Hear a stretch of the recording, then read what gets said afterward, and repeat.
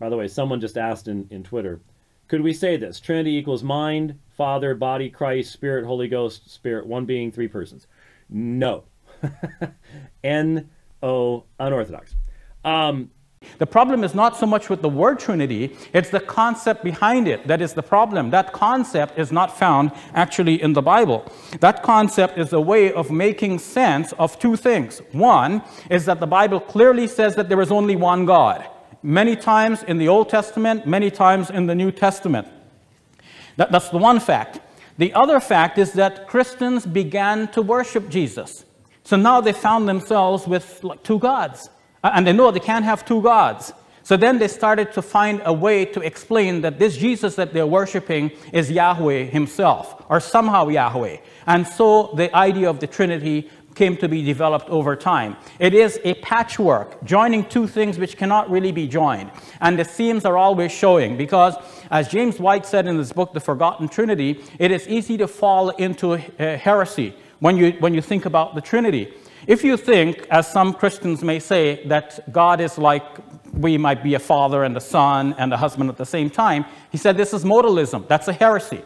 So either you err on the side of modalism or you err on the side of tritheism, where you think of the God of uh, Father, Son, and Holy Spirit as being so distinct from each other that really they become three gods in, in your mind. So either you err this way or you err the other way. When it comes to thinking about Jesus, Christians are required to think that Jesus is fully God and fully man at the same time in such a way that everything he does is God, by, uh, God and man both doing it at the same time. So then we ask, okay, so he died on the cross. That means God died. Then a Christian thinks about it and says, no, God doesn't die. Now you're separating the two, which you're not supposed to do. So this is another heresy.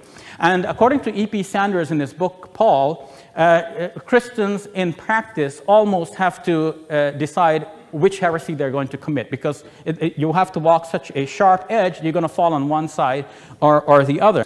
In fact, uh, I, I, respect that Christians are struggling to understand this uh, uh, feature of their faith.